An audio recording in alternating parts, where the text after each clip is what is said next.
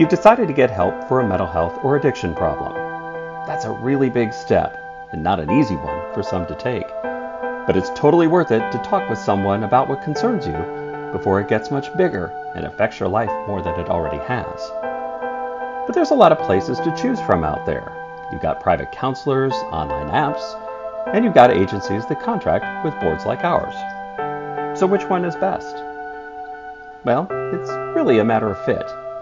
It's up to you to decide which feels best for you and to consider things like do they have hours that fit your schedule? What kind of therapy do they use? Do you have insurance that the provider accepts? And if you don't have insurance, do you qualify for Medicaid, Medicare, or something on the insurance exchange? It helps to make some calls to potential counselors and agencies that you're considering and ask these questions and any others that come to mind. That way you can decide for yourself who can best help you. Here at the Mental Health Recovery Board serving Warren and Clinton counties, we've done some of that work for you. Our Network Provider Guide, which you can find on our website, lists a lot of information to help you decide.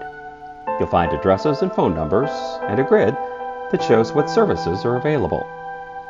Most agencies the board contracts with have open access hours too. You can stop in, fill out the necessary paperwork, then see someone the same day. You might want to check their websites for that paperwork though and fill it out before you go.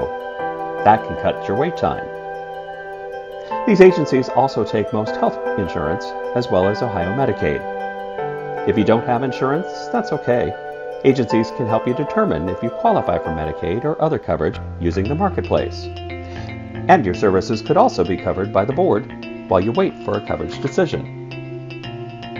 When you visit a provider for the first time, you'll have an assessment done. That'll give a therapist or counselor a good idea of what's happening so that he or she can work with you to put a plan together to help you. That's the big thing to remember here. You are part of the decision making process. You work with your therapist or counselor on your treatment plan, and you decide together on each step that you'll take on your way to recovery. So, what's next? Well, pick up a copy of the Provider Network Guide on our website at mhrbwcc.org or give us a call at 513 695 1695. You can also visit provider websites through our website. Just click on Find Help.